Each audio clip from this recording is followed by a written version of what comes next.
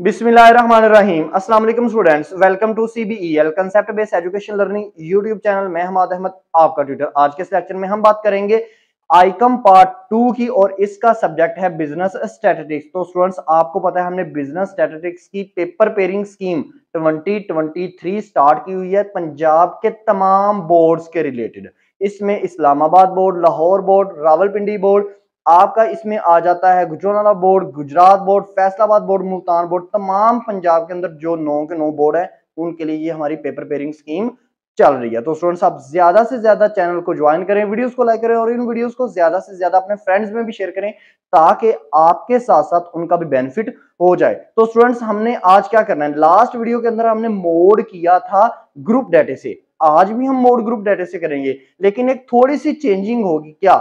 आज की इस वीडियो में हम ये सीखेंगे कि ग्रुप डेटे से ग्रुप डेटे से मोड निकालने को कहे, लेकिन उसके अंदर सी डॉट बी यानी कि क्लास बाउंड्रीज हमें कब बनानी पड़ेंगी तो इस चीज़ को हम सीखेंगे। तो मेरे पास बोर्ड के ऊपर मैंने क्वेश्चन को लिखा हुआ है। देखो फाइंड मोड मेरे पास डाटा क्या है? डाटा मैंने ज़्यादा कोशिश यही करता हूँ कि डाटा सिंपल रखूँ, आपके लिए डाटा वही रखूँ, जो लास्ट वीडियोस के अंदर चलता आ रहा है, ताकि आप स्टूडेंट्स को ना कोई ज़्यादा दिक्कत ना हो, परेशानी ना हो। देखें, मेरे पास x की वैल्यूज़ हैं। यहाँ पर x की जगह वो कोई भी नेम यूज़ कर सकता है पेपर में। क्लास लिख सकता है नंबर ऑफ़ स्टूडेंट्स लिख सकता है, कुछ भी लिख सकता है, ठीक है ना? तो x की वैल्यूज़ हैं वन टू फाइव एक से पाँच तक, फिर छ से दस, फिर ग्यारह से पंद्रह, फिर सोलह से बीस और इक्कीस से पच्चीस। अब आप स्टूडेंट्स यहाँ पे ये चीज़ नोटिस करना, आपकी ये जो क्लास बाउंड्रीज हैं, ये बिल्कुल मैच नहीं है। क्लासेस आपकी मैच नहीं है। कहने का मतलब क्या है?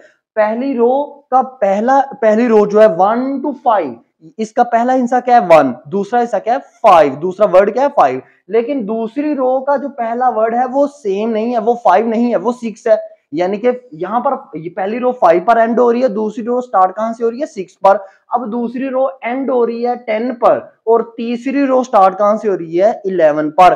तीसरी रो एंड हो रही है 15 पर। और चौथी रो स्टार्ट कहाँ से हो रही है? ये हो रही है 16 पर स्टार्ट हो रही है। और फोर्थ रो आपकी एंड हो रही है 20 पर और फिफ्थ रो आपकी स्टार्ट हो रही है 21 पर एंड सो ऑन ये क्या कहलाता है? इसको हम कहते हैं कि हमारी क्लासेस मैच नहीं करती। आपने ये चीज़ें देखनी है। अब आप कहोगे, सर, जब अरिथमेटिक मीन का आपने कंप्लीट कंसेप्ट बताया, तब तो नहीं थे आप कहते कि ये चीज़ों को अपने माइंड में रखना अरिथमेटिक मीन के अंदर चाहे ये क्लासेस आपस में मैच करती हूँ, चाहे ना मैच करती हूँ उससे आपका कोई लिंक नहीं है। लेकिन मोड और मीडियन, ये दोनों टॉपिक में आपने बड़ी तवज्जो से इन चीज़ों को देखना है। ठीक है ना?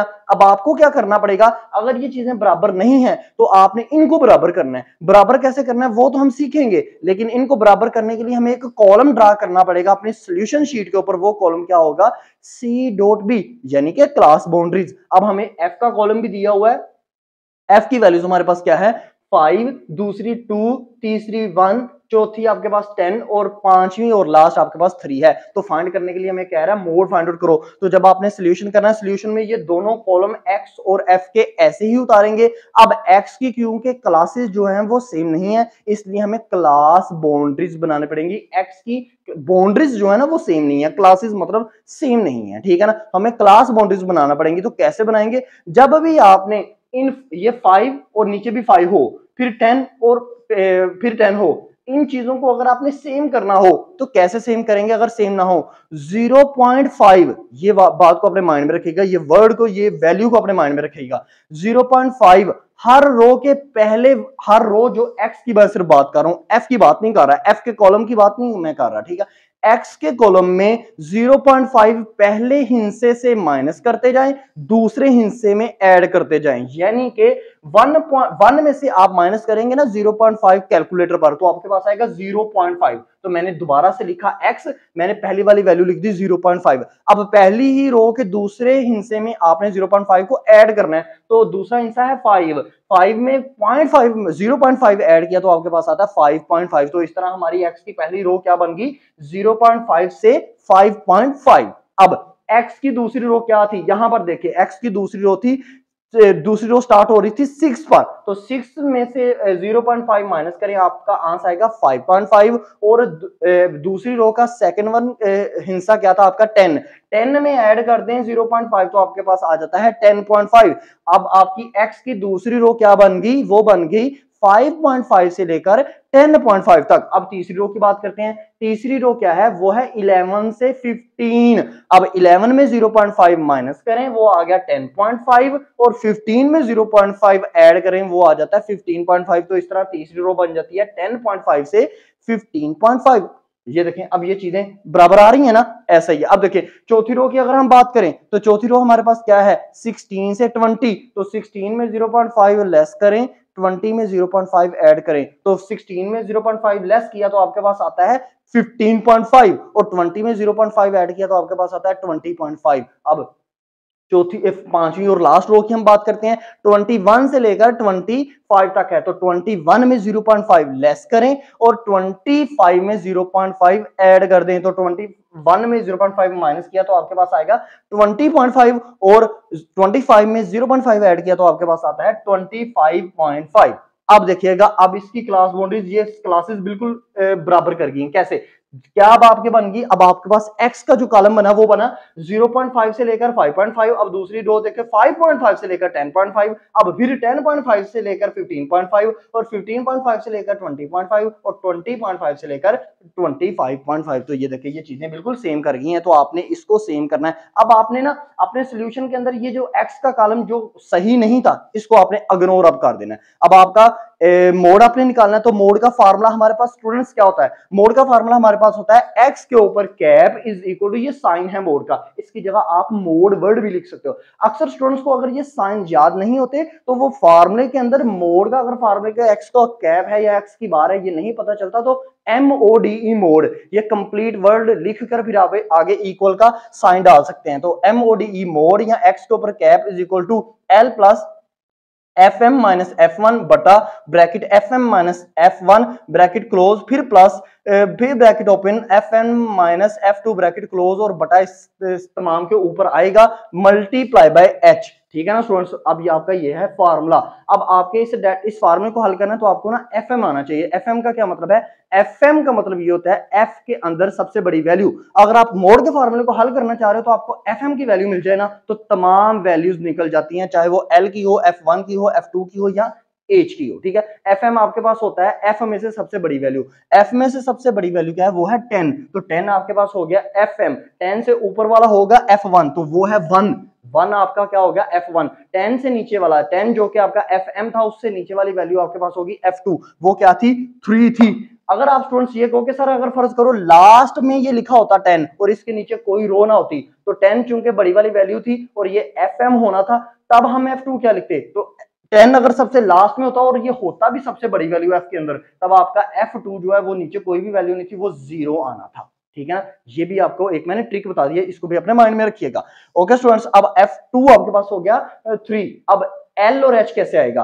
अब एल अगर आपने लेके आना ना तो अब एफ़ एम के बिल्कुल सामने एक्स की वैल्यूज़ देखो। किस तरफ़? जो आपने अभी निकाली है एक्स की वैल्यूज़ यानी कि क्लास बाउंड्रीज तो class boundaries C dot B आपने लिखा उसके अंदर था आपके पास क्या? आपके पास उसके अंदर था ए, ए, 15.5 से लेकर 20.5 ये जो रो है ना ये फोर्थ नंबर रो बनती है। इसके अंदर आपको एल मिलेगा। क्यों? क्योंकि इसके बिल्कुल सामने आपको 10 नज़र आ रहा है किसमें? एफ़ के अंदर। तो 15.5 आपके पास हो गया एल अब एच क्या होगा? एच ये नहीं होगा कि 15.5 में से माइनस किया 20.5 तो वो तो माइनस फाइव आंसर आएगा एच नहीं स्टूडेंट्स एच आपने लेके आना है तो जिसके अंदर जो आपका एल है ना एल से बिल्कुल ऊपर वाली वैल्यू उसको माइनस कर दो। एल के ऊपर वाली वैल्यू है 10.5 तो 15.5 में से माइनस किया 10.5 तो ये आपके पास आ गया एच आपके पास आ गया फाइव आप वैल्यूज़ को पुट कर दें। एल आपके पास कितना है? 15.5 एफ़ एम है आपके पास। मैंने मैंने डाला 15.5 प्लस प्लस का साइन ऐड किया फार्मूले में था।